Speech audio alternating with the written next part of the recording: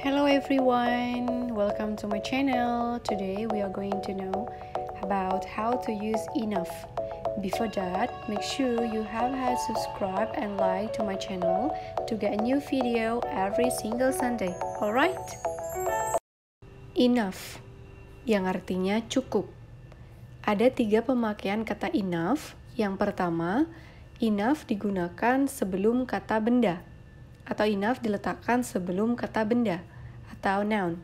Yang kedua, enough diletakkan setelah kata sifat atau adjective. Dan yang ketiga, enough dapat digunakan juga tanpa diletakkan kata benda atau kata sifat. Berapa contoh enough plus noun? Enough time, enough milk, enough money, enough people. Hey, contoh kalimatnya. I don't have enough time to call you.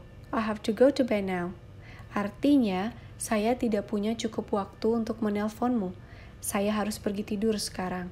Nah, dalam kalimat ini, enough sudah diletakkan sebelum kata benda time. Oke, contoh kedua. Is there enough milk in your coffee? Yes, thank you. Artinya, apakah ada cukup susu dalam kopimu? Ya, terima kasih. Enough sudah diletakkan sebelum kata benda milk di dalam kalimat ini. Pemakaian kedua yaitu adjective plus enough. Contohnya big enough, good enough, tall enough, and old enough. Contoh-contoh kalimatnya, This house is big enough. Artinya rumah ini cukup besar. Enough dalam kalimat di sini sudah diletakkan setelah kata adjective big. Contoh yang kedua, He cannot reach the shelf. He is not tall enough.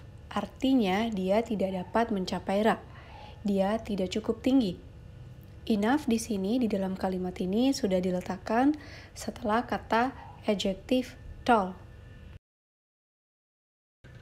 Pemakaian yang ketiga yaitu enough digunakan tanpa meletakkan adjective dan kata noun.